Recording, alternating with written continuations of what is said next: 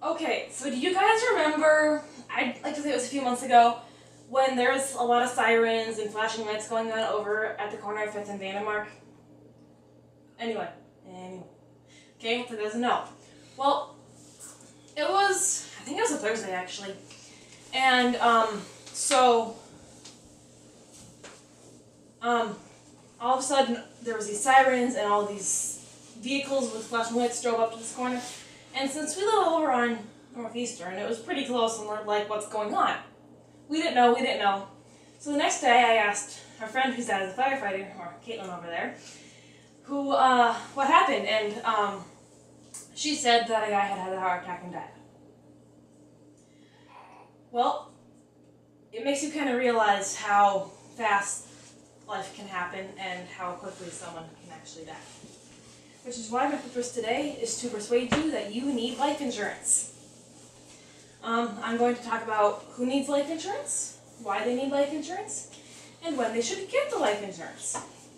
I have done plenty of research on this topic, and so I believe I am a reputable source about life insurance. And I hope that you walk away from this speech thinking that you need life insurance too. Uh, let's start with who needs life insurance. Anybody in a long-term relationship. Most of the time they end up getting married, but they could have a child together and have a custody dispute sort of deal. And so either the spouse or that child is dependent on you and that income source that you provide and if you just walk away if you just go away and they don't have any sort of income it kind of makes it hard on them for a while anybody who has children they are your dependents and so um, if you're a single parent or a married parent either way that child depends on you and your income so you need to protect them for their future life um, according to III Life insurance can replace income for dependents. So let's say Brittany's a single parent, even though I know she's not. And um, let's say she dies all of a sudden. Logan there can have her income from her from a life insurance policy that she could get. Um, if you are alone, you need life insurance because your estate needs to be handled too. You need to be buried somewhere. Your funeral needs to happen. So you need to have money in store for, to, for someone to pay for that for you.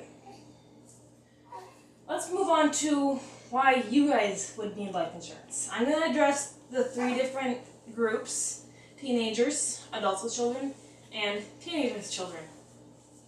Um, teenagers, do not buy life insurance right now. You will need it later in your life, but you are a teenager. You do not need life insurance quite yet. But, um, when you do get life insurance, according to Michael Estrin of Bankrate Inc., private lenders will need to be paid off when you die. So if you get a student loan from a private lender, it doesn't get just wiped away when you die. It needs to be paid off. So if you have life insurance, that can help pay it off. Um, adults with children. Like I said earlier, you have dependents. And as the word suggests, the dependents depend on you. I know that you're kind of the ones that need life, uh, get life insurance, but that's pretty much all I need to say on it. And teenage with children. I'm sorry, Brittany, but I'm kind of picking on you here. Um, you will probably need life insurance a little sooner than most because you do have a child, and if something happens to you, he needs to be taken care of. Um, according to the American Council of Life Insurers, the largest life insurer in 2013 was MetLife. Sorry, it's not Aflac. Um, in addition, the life expectancy of newborn females in 1998, since most of us were born in 1998, we were newborns, was about 80 years. Can anyone here imagine living to be 80 years old? I, I don't think I can imagine it either. And so normally you're going to expect that something's going to happen and you're going to die sooner. So get life insurance.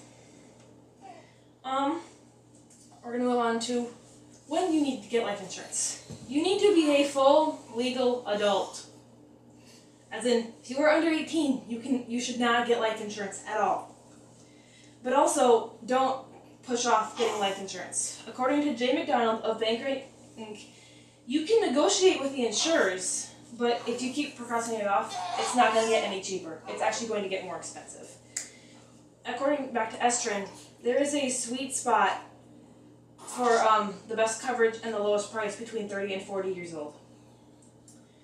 Um, you should get life insurance shortly after you're married because normally you're going to buy have kids, and not all insurance companies will give insurance life insurance policies to pregnant women.